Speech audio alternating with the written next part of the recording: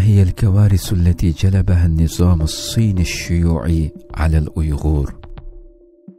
ذهب الزعيم الصيني ماو سي تونغ إلى ميدان تيان أنمن في بكين في 1 أكتوبر 1949 وأعلن تأسيس النظام الشيوعي الصيني في الجلسة العامة الأولى للمؤتمر الاستشاري السياسي للشعب الصيني الذي أقيد في بكين في 27 سبتمبر 1949 ألقى موسيتونغ خطابا افتتاحيا حول موضوع الشعب الصيني نهض وأوضح قائلا إن الشعوب من جميع الأعراق والمجموعات ستعيش في الصين بشكل مستقل وحر في إدارة نفسها.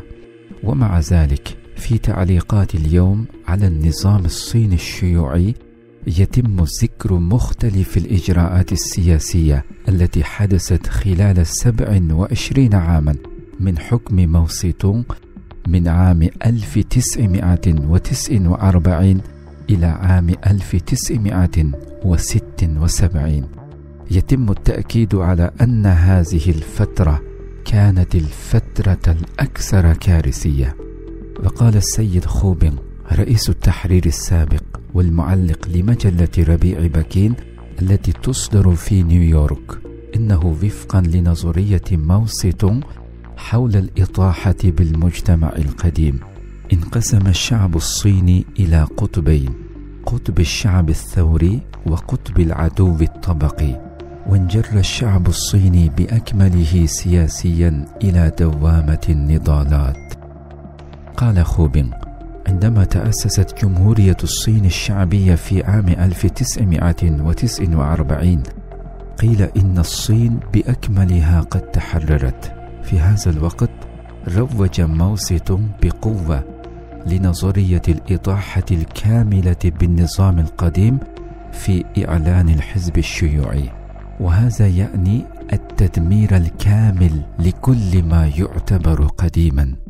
تم التأكيد على الصراع الطبقي في عهد ماو انقسم الشعب إلى العمال والطبقة المستغلة المعادية باسم النضال ضد المستغلين.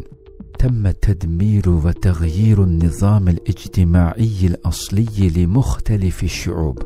في ذلك الوقت في شينجيانغ أي تركستان الشرقية ومنغوليا الداخلية وبعد عام 1959 في التبت نفذت الصين القمع والتدمير تحت اسم أعداء الطبقة المستغلة. لم يتم تدمير المعتقدات الدينية والثقافة التقليدية للأقليات العرقية فحسب بل تم تدمير الثقافة الصينية القديمة أيضا. في كلمته قال السيد خوبينغ أنه منذ تأسيس النظام الشيوعي الصيني في عام 1949 تم تنفيذ الإصلاح الزراعي إسقاط الجبال الثلاثة والقضاء على خمسة والعمل الجماعي في الزراعة إنشاء الكوميونات. تم تنفيذ قفزة كبيرة إلى الأمام في جميع أنحاء الصين وسحق اليمينيين والثورة الثقافية. وتدمير الأربعة القديم وإعادة تسقيف الشباب في الريف وسحق ليمبيو وكونفوشيوس وغير ذلك من الأفعال المذكورة. وفقا للجزء الثاني من كتاب تاريخ الحزب الشيوعي الصيني فإن القفزة الكبرى إلى الأمام تسببت في مجاعة شديدة في الصين وأدت المجاعة التي استمرت من عام 1959 إلى عام 1961 إلى مقتل مليون مواطن صيني. وفقا لخوبين فإن أرقام الوفيات خلال القفزة الكبرى إلى الأمام لموسيتونغ والكومونة الشعبية والثورة الثقافية اللاحقة التي خلقتها دعوة موسيتونغ للتفوق على الدول الغربية مثل الولايات المتحدة وبريطانيا هي أدنى التقديرات على الإطلاق. ويذكر الباحث المستقل يانغ جيشينغ في كتابه المجاعة الكبرى أن عدد الوفيات في تلك السنوات بسبب المجاعة والصراعات السياسية المختلفة كان أعلى بكثير مما ذكر. وقدر تقرير سري أعده تشينيجن المدير السابق للمعهد الصيني للإصلاح الهيكلي الاقتصادي والذي عمل تحت قيادة جاو زيانغ عدد الوفيات بسبب الجوع أو الوفيات غير الطبيعية بما يتراوح بين 43 مليونا إلى 46 مليونا في ذلك الوقت. وأكد خوبين أن المثقفين كانوا الهدف الرئيسي لموجة الصراعات السياسية في تلك السنوات خلال الثورة الثقافية بالإضافة إلى الصينيين أصبح عدد كبير من الشخصيات العامة وعلماء الدين والمثقفين من بين المجموعات العرقية مثل الأيغور والتبتيين والمغول كانوا هدفا للتدمير.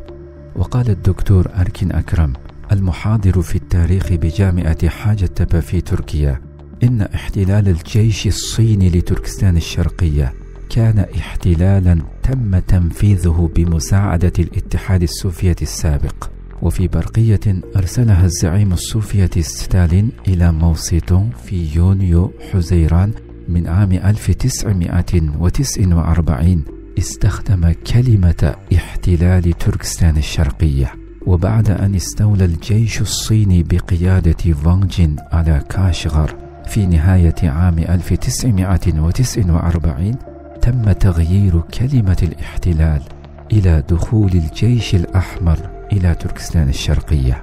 وقال الدكتور أركين أكرم إنه عندما تم تنفيذ إصلاح الأراضي الذي بدأ في الصين في أوائل الخمسينيات في تركستان الشرقية كان الهدف الرئيسي هو تسوية النفقات المالية للحكومة الصينية في ذلك الوقت.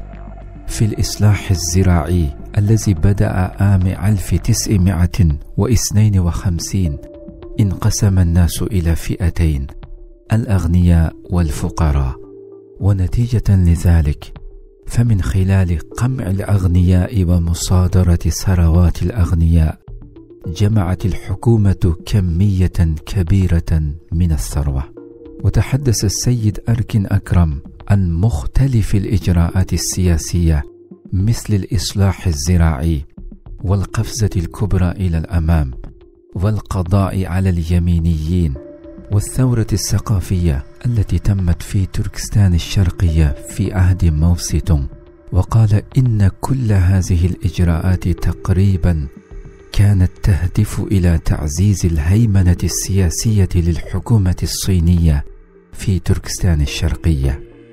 وقال السيد أركن أكرم إنه في أوائل الخمسينيات من القرن الماضي حاولت الصين التدمير الكامل للمعتقدات الدينية والدوائر الثقافية للأيغور باسم القضاء على القديم بالإضافة إلى ذلك في حركة القضاء على اليمينيين تم استهداف الشخصيات العامة والزعماء الدينيين والمثقفين الذين يمكنهم حقا توجيه الأيغور والقضاء عليهم بخطوات ممنهجة.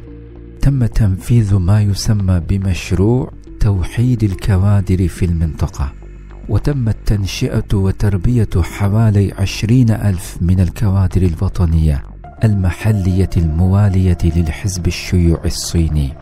تم نزع سلاح جيش تركستان الشرقية الأصلي تدريجيا وتم حله لاحقا. والذين عملوا في حكومة تركستان الشرقية السابقة تم اتهامهم بتهم مختلفة واستهدافهم للقضاء عليهم بالكامل.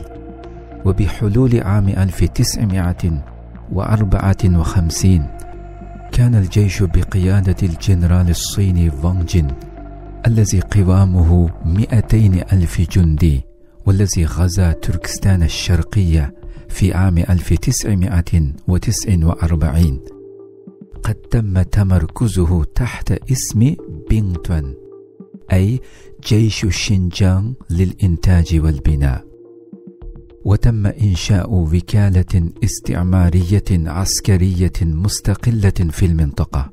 وضع الفيلق الأساس لتدفق المزيد من المستوطنين الصينيين إلى البلاد في السنوات التالية. وقال السيد أركن أكرم إنه على الرغم من التركيز على الصراع الطبقي في الحركات السياسية في ذلك الوقت إلا أن ممارسة الحكومة الصينية في المنطقة كانت في الواقع سياسة احتلال. لذلك كانت سياسة موسيتونغ خلال هذه الفترة تهدف إلى تدمير المعتقدات الدينية والخصائص الوطنية الثقافية للايغور وفي هذا فإن الزعماء الدينيين والمثقفين الذين يستطيعون قيادة الأمة كانوا هم الأهداف الرئيسية للتدمير. ونتيجة لذلك تم انتزاع ملكية الايغور لأراضيهم تدريجيا وأصبح حكم الحكومة الصينية على هذه الأراضي أسهل. وللقصة بقية. إلى لقاء قادم. والسلام عليكم ورحمة الله.